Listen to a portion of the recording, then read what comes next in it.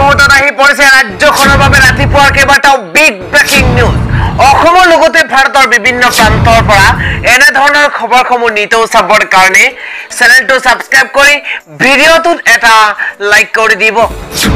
এই মুহূৰ্তত জনাই আছো এটা গুৰুত্বপূৰ্ণ খবৰ। এইবাৰ প্ৰাক্তন বিধায়ক শিলাদিত্যদেৱ গ্ৰেপ্তাৰ হ'ব পাৰে। সংখ্যালঘুৰ বিৰুদ্ধে বিতৰ্কিত মন্তব্য কৰা শিলাদিত্যদেৱৰ বিৰুদ্ধে এজাহাৰ দাখিল কৰা হৈছে। গ্ৰেপ্তাৰ হোৱাৰ সম্ভাৱনা আছে শিলাদিত্যদেৱ সংখ্যালঘুৰ বিৰুদ্ধে বিতৰ্কিত মন্তব্য কৰিছিল বিতৰ্কিত নেতা শিলাদিত্যদেৱে সংখ্যালঘুৰ বিৰুদ্ধে বিতৰ্কিত মন্তব্য কৰাৰ বাবে শিলাদিত্যদেৱৰ বিৰুদ্ধে এজাহাৰ দাখিল কৰা হৈছে।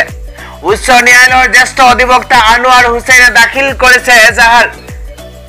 জুনেদ খালিদ আৰু হাবিব মোহাম্মদে দাখিল কৰিছে এজাহাৰ। চাৰিদিন পূৰ্বে আজানৰ বিৰুদ্ধে এক বিতৰ্কিত মন্তব্য কৰিছিল বিধায়ক শিলাদিত্য দেৱে। আৰু তাৰ পিছতে ৰাজ্যৰ তোলপাৰ সৃষ্টি হৈছে কিয়নো এতিয়া এজাহাৰ দাখিল কৰা হৈছে প্ৰাক্তন বিধায়ক শিলাদিত্য দেৱৰ বিৰুদ্ধে।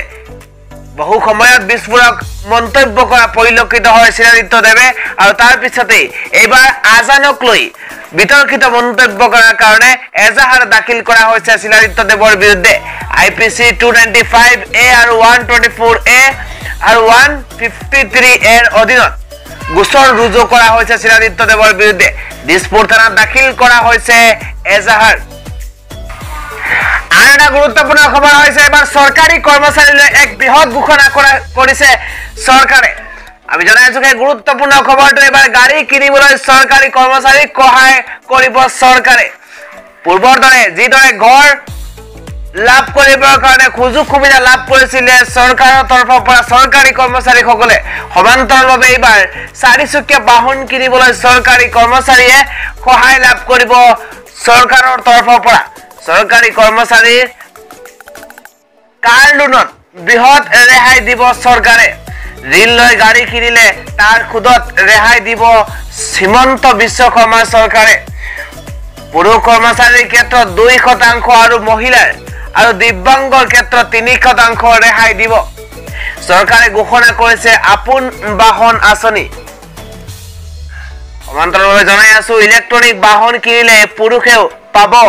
তিনি শতাংশ সুদ ৰেহাই আৰু ন্যূনতম পোন্ধৰ লাখ টকালৈকে লাভ কৰিব এই ঋণ। আৰ বি আইৰ অধীনত বেংকৰ পৰা ল'ব পাৰিব এই ঋণ। চৰকাৰী কৰ্মচাৰীলৈ এই বৃহৎ ঘোষণা কৰিছে মুখ্যমন্ত্ৰী ডক্টৰ হিমন্ত বিশ্ব শৰ্মা নেতৃত্বাধীন বিজেপি চৰকাৰখনে। পৰৱৰ্তী গুৰুত্বপূৰ্ণ খবৰ হৈছে বজৰং দলৰ বিৰুদ্ধে ৰাইজৰ দলৰ ঢকুৱাখনা থানাত গোচৰ ৰুজু কৰা হৈছে। ৰাষ্ট্ৰীয় অখণ্ডতা আৰু সাৰ্বভৌমত্বলৈ প্ৰচণ্ড ভাবুকি মাতি যুৱ প্ৰজন্মক হিংসাত্মক কাৰ্যকলাপ সংঘটিত কৰিবলৈ উৎসাহিত কৰা বজৰং দলৰ বিৰুদ্ধে এক গোচৰ ৰুজু কৰা হৈছে ডকুৱাখনাত অবৈধ মাৰণাস্ত্ৰ মজুত ৰখা যুৱ প্ৰজন্মক মুকলিকৈ অস্ত্ৰৰ প্ৰশিক্ষণ দিয়া আৰু সাম্প্ৰদায়িক সংঘাতৰ বাবে উচতনি দি বজৰং দলে যি বজৰং দলক যি অস্ত্ৰৰ প্ৰশিক্ষণ দিয়া হৈছিলে তাক লৈ। দেখিবলৈ পোৱা গৈছে ৰাজ্যৰ ভিন্ন প্ৰান্তত প্ৰতিক্ৰিয়া অব্যাহত আছে। ইফালে সাম্প্ৰদায়িক সংঘাতৰ বাবে উচতনি দিয়া দৰং জিলাৰ মংগলদৈত বজৰং দলে গ্ৰহণ কৰা অবৈধ কাণ্ডৰ বিৰুদ্ধে ডকুৱাখনা সদৰ থানাত এক গোচৰ ৰুজু কৰিছে ৰাইজৰ দলৰ ডকুৱাখনা সমষ্টি সমিতিয়ে। সমষ্টি সমিতিৰ হৈ পদ্মকান্ত দলে ৰাতুল গগৈ দিলীপ দাস প্ৰহ্লাদ গগৈ ৰাজকুমাৰ পাতিৰে ডকুৱাখনা সদৰ থানাত বুধবাৰে এই সন্দৰ্ভত এখন এজাহাৰ দাখিল কৰিছে। এজাহাৰকাৰী গণে বজৰং দলৰ এই সন্ত্ৰাসবাদী কাৰ্যকলাপে ৰাষ্ট্ৰীয় নিৰাপত্তা অখণ্ডতা আৰু সাৰ্বভৌমত্বৰ লগতে জনজীৱনলৈ প্ৰচণ্ড ভাবুকি নমাই অনা বুলি আশংকা কৰিছে। লগতে ৰাষ্ট্ৰৰ নিৰাপত্তাৰ স্বাৰ্থত ৰাষ্ট্ৰীয় নিৰাপত্তা আইনৰ অধীনত বজৰং দলৰ বিষয়ববীয়াসকলৰ ওপৰত ব্যৱস্থা গ্ৰহণ কৰিবলৈ আহ্বান জনাইছে। ইয়াৰ উপৰি মংগলদৈ ঘটনাৰ সৈতে জড়িতসকলৰ ওপৰত ভাৰতীয় দণ্ডবিধি আইনৰ লগতে অস্ত্ৰ আইনৰ ধাৰা টুৱেণ্টি ফাইভ টুৱেণ্টি ছেভেনৰ ইউ এ পি আইনৰ দ্বাৰা তেৰ আৰু ষোল্ল নম্বৰ অধীনত গোচৰ পঞ্জীভূত কৰি তাৎক্ষণিক কাৰ্যব্যৱস্থা গ্ৰহণ কৰিবলৈ দাবী জনাই এজাহাৰ দাখিল কৰিছে। পৰৱৰ্তী গুৰুত্বপূৰ্ণ খবৰ হৈছে একেদিনাই এক কোটি গছ পুলি ৰোপণৰ লক্ষ্য হাতত লৈছে চৰকাৰে। পুনৰ এক অভিলেখৰ বাবে সাজু হৈছে অসম চৰকাৰ। এইবাৰ একেদিনাই অসম চৰকাৰে ৰোপণ কৰিব এক কোটি গছ পুলি। শেহতীয়াকৈ ৰাজ্যখনৰ মুখ্যমন্ত্ৰী ডক্টৰ হিমন্ত বিশ্ব শৰ্মাই ঘোষণা কৰা অনুসৰিয়ে এই গছ পুলি ৰোপণ কাৰ্যসূচী ৰূপায়ণৰ বাবে আজি দুটাকৈ ৱেব পৰ্টেল মুকলি কৰা হৈছে।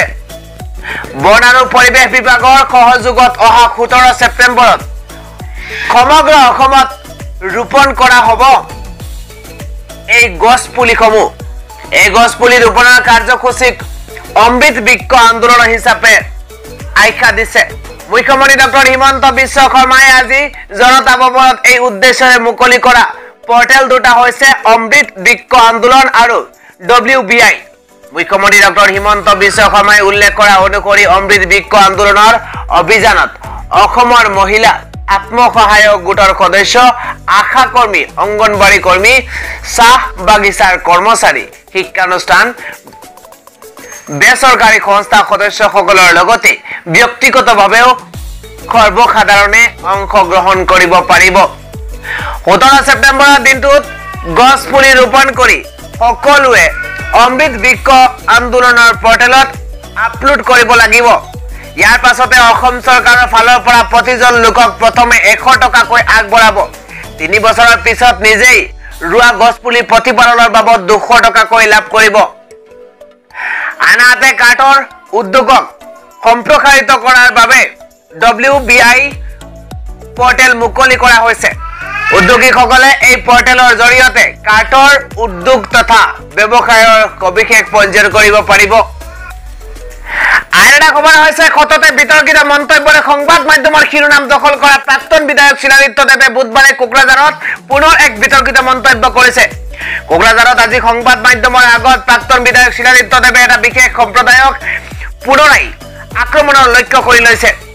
প্ৰযুক্তিবিদ্যাৰ যুগত মানুহৰ মাজত সম্পৰ্ক কমি আহিছে আৰু সমাজৰ কাম কৰা মানুহৰ অভাৱ হৈছে সেয়েহে বৃহত্তৰ সনাতনী ধৰ্মৰ সমাজখন ৰক্ষা কৰিবলৈ আমি আগবাঢ়ি আহিছো বুলি মন্তব্য কৰিছে।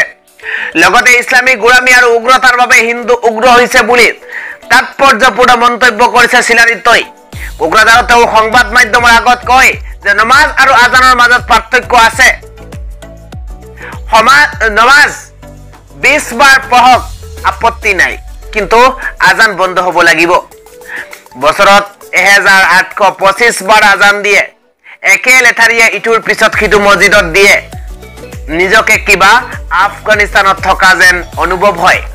বেলেগৰ অসুবিধা অসুবিধা মন্দিৰৰ পৰা হোৱা নাই কিন্তু আজানে অসুবিধাৰ সৃষ্টি কৰিছে গতিকে আজান বন্ধ হ'বই লাগিব। আজি নহয় দহ বছৰ পিছত হলেও আজান বন্ধ হ'ব লাগিব বুলি চুৰক মন্তব্য কৰা পৰিলক্ষিত হৈছে।